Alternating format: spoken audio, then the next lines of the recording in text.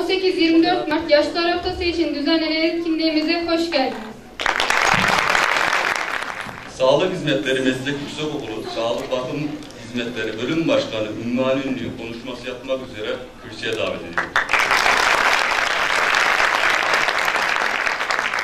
Konuşmama başlamadan önce hepinizin Regaib Kandili mübarek olsun arkadaşlar. Ee, şimdi biz bu etkinliğimizi Yaşlar Haftası ya da diğer bir adıyla Yaşlılara Saygı Haftası kapsamında gerçekleştiriyoruz. Ve Yaşlara Saygı Haftası bizim üzerimizde emeği olan, bizim yetişmemizde önemli rollere sahip olan yaşlılarımızı anmak adına Dünya Sağlık Örgütü tarafından 18-24 e, Mart Yaşlılar Haftası ya da Yaşlılara Saygı Haftası olarak ilan edilmiş. E, bir söz var benim hoşuma giden, onu da sizinle paylaşmak istiyorum burada. İnsan da hayallerin yerine hatıralar almaya başlamışsa yaşlılık başlamış demektir. Baktığımız zaman yaşlılık her insan için farklı bir anlam ifade eden çok özel bir dönemdir. Bizim yaşlanmamız doğumla beraber başlayıp aslında e, yaşlılık dediğimiz 65 yaştan sonra da devam ediyor. Kimine göre muhtaç olmak, bakıma ihtiyaç duymak ya da artık yetersizlik anlamını taşırken birçoğu da deneyim, tecrübe ya da bilgelik olarak tanımlayabiliyor yaşlılığı. E, baktığınız zaman bizim yaşlılardan tabii ki elde edeceğimiz birçok bilgi, birçok deneyim, birçok tecrübe var. Ancak e, bir şekilde yaşlılar bizden uzaklaşmış ya da işte bir şekilde aramızda bir mesafe oluşmuş durumda. Biz bunu da aşmak istiyoruz. Sizi de bu konuda bilinçlendirmek istiyoruz. Ee, şöyle düşünüyoruz biz. Yaşlılık itibar gerektiren bir dönemdir. Özel bir dönemdir. Daha çok saygı, daha çok ilgiye ihtiyaç duyulan bir dönemdir. Ve biz bu dönemde özellikle başarılı, aktif yaşlılık kavramından bahsediyoruz. Onların daha toplumun içinde, daha bizden, daha bizimle bir şeyleri paylaşarak yaşamalarını istiyoruz. Ee, geçmişte baktığımız zaman yaşlılar her zaman işte bilgi olarak adlandırılmış ve önemli bir rol oynamış. Ee, biz bunu kendi kültürümüz, ayrıca kendi dinimiz gereğince de yaşlıların çok özel bir e, rolü var. Biz bunu gelecek nesillere bir şekilde aktarmak, köprü rolü oynamak zorundayız. Ve özellikle e, ben arkadaşlarıma, yaşlı bakım programındaki öğrencilerimize teşekkür etmek istiyorum. Hem böyle bir farkındalık oluşturdular ya da böyle bir haftanın var olduğundan bahsettiler. Hem de günümüzde büyük bir problem olan savaşların aslında hiç görünmeyen yüzü olan yaşlılara etkileri üzerine bir e, söyleşi hazırladılar. Buradan tekrardan yaşlı bakım programı öğrencilerime, katılan sevgili hocalarıma ve siz tüm öğrencilerime teşekkür ediyorum. Savaşın nedeni ne olursa olsun temel güdüsü Savaşın nedeni ne olursa olsun temel güdüsü düşmanca niyet ve davranıştır. İki grup arasında ortaya çıkan en az bin kişinin ölümüyle sonuçlanan organize olmuş şiddet olarak tanımlanabilir. Savaşın yıkıcı sonuçları yalnızca meydana geldiği bölgeye değil, farklı bölgelerde yaşayan insanlar da olumsuz etkileyebilmektedir. Savaş mağdurlarının biyolojik, psikolojik ve sosyal sağlığını bozmakta, dünya genelinde morbiliteyi ve morbi, morbiditeyi arttırmaktadır. Günümüzün savaşının özellikleri açısından bakarsak son 50-60 yıldır savaşın savaşın devlet sayısı artmıştır. Savaşan ülke sayısının artması nedeni kişiselleşmeyi göstermektedir. Savaştan etkilenen sayı artmıştır. Birleşmiş Milletler İnsani, İnsani İlişkiler Ofisi 1919 yılı verilerine göre 1,8 milyar kişi bu gelirimden etkilenmektedir. Sağlık DSO Sağlık sadece Kongre, Kongre Cumhuriyeti'nde 200 binden fazla kadın ve çocuğa tecavüz edildiğini belirtilmiştir. Savaşlar daha çok 3. Dünya ülkelerinde olmaktadır. İkinci Dünya Savaşı'ndan beri 181 savaşın 173. Dünya ülkelerinde oluşturmuş, olmuştur. Masum halklarda askeri güçleri oranla daha fazla ölüm görülmektedir. 18 ve 19 yüzyıllardaki savaşlar ve 20. yüzyılların başlarındaki savaşlarda kayıpların %50'si, İkinci Dünya Savaşı'nda toplam ölümlerin üçte ikisi ve 1980'lerin sonunda toplam kayıpların yüzde yaklaşık yüzde 90'ı masum hakların arasındadır. Örneğin Hiroşima ve Maga Magazi'ye atılan atom bombası nedeniyle 400 bin kişi ölmüştür. Yaşlılık Yaşlı insan doğasının önemli evlerinden biridir. Yaşlılık sözlük anlamı olarak yaşlı olma, artış, artmış yaşın etkilerini gösterme hali olarak tanımlanmaktadır. Yaş, doğuştan itibaren geçen ve yıl birimiyle ölçülen birim zaman olarak tanımlanır. Yaşlı, belli bir kronolojik yaşı tamamlayan, bireylerden beklenen rolleri ve sorumlulukları tamamlayan sosyal bir durumda olan birey tanımlar. Yaşlanma, yaş, yaş alma süreci, biyolojik olarak büyüme. Dünya Sağlık Örgütü kronolojik sınıflandırmasına göre 65 ve yaşlı yaşlılık dönemi olarak kabul edilmektedir. Yaşlı nüfus kendi içinde de alt gruplara ayrılmıştır. Ve şu şekilde. 65-74 yaş grubu genç yaşlı, 74-84 yaş grubu yaşlı, 85 ve üzeri yaş grubu en yaşlı ve yaşlı olarak tanımlanmaktadır. Burada da slaytta gördüğümüz gibi 2012 yılında ve 2016 yılındaki yaşlı nüfusun iki katına çıktığını görüyoruz.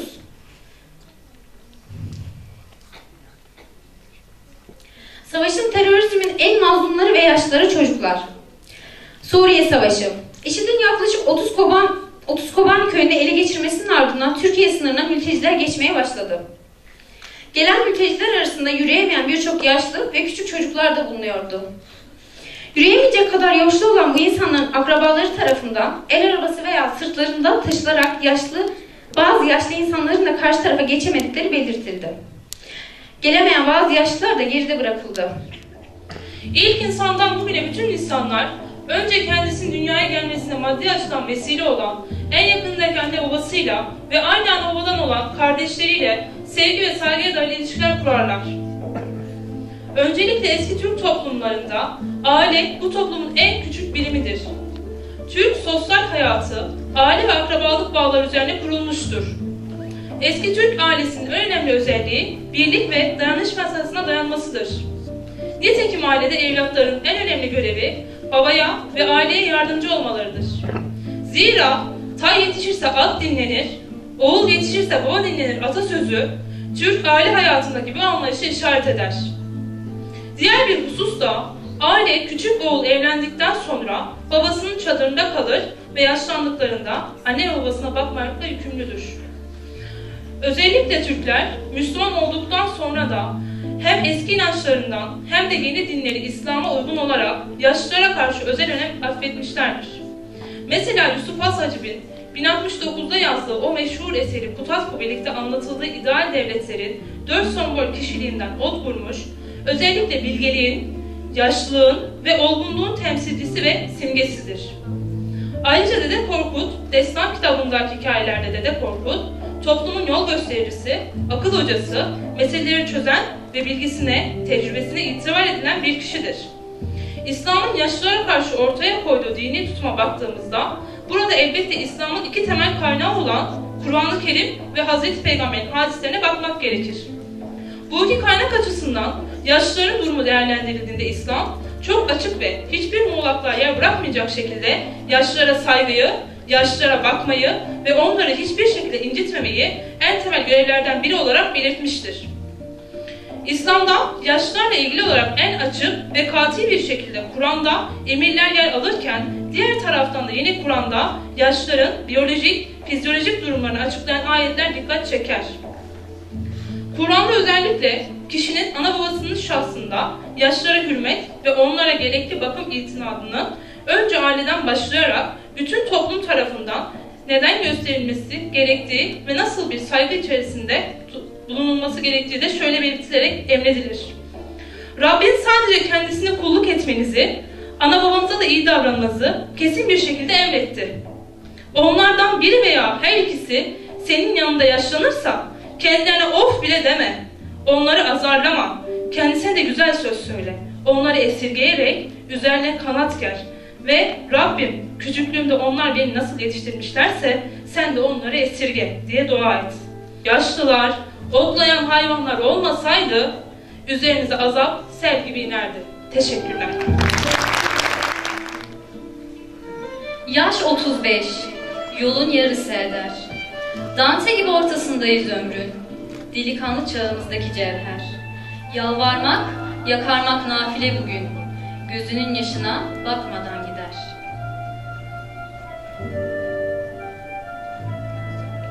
Şakaklarıma kar mı yağdı ne var? Benim mi Allah'ım bu çizgili yüz?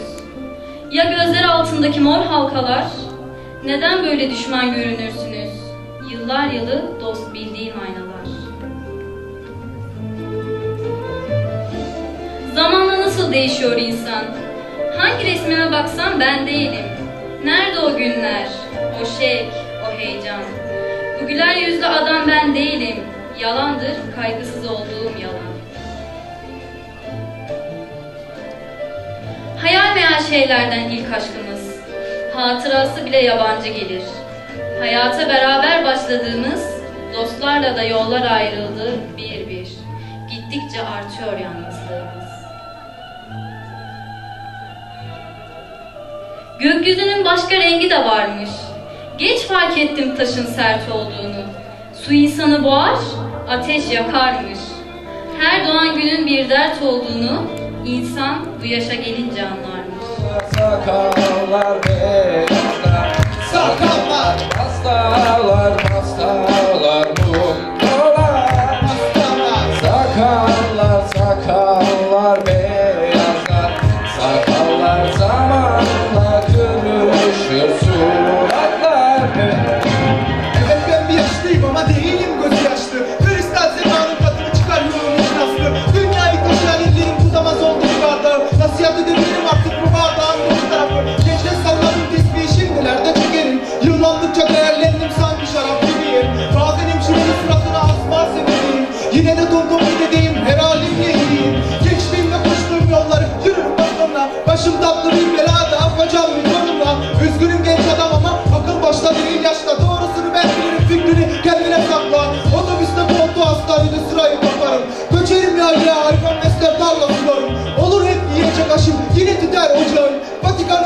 Nüfusu gibi az olsa da maaşım Yaş yetmiş hiç bitmiş öyle olmuyor canım. Ben sizin yaşınızda ne canlar yaptım Hala sizden gencim rap yapan bir yaşlıyım. Son olarak bir şey diyeceğim. Oku oku evladım. Sakallar sakallar beyazlar. Sakallar pastalar pastalar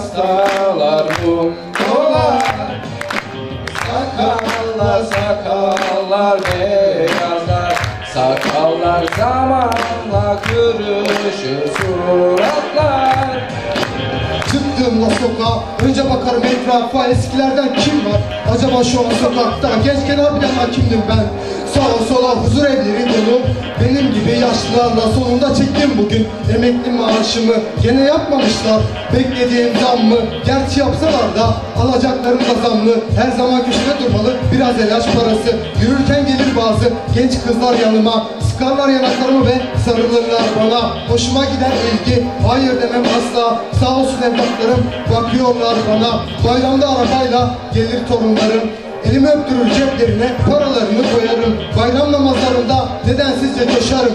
Evlatlarımı karşılamak için hemen eve koşarım. Sakallar sakallar beyazlar. Sakallar pastalar pastalar. Mumlular Sakallar sakallar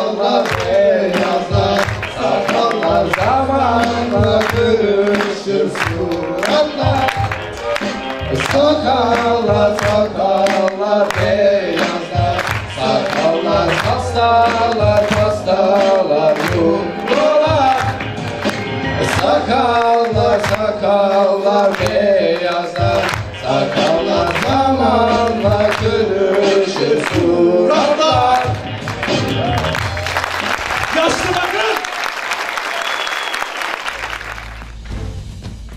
Karamanoğlu Mehmet Bey Üniversitesi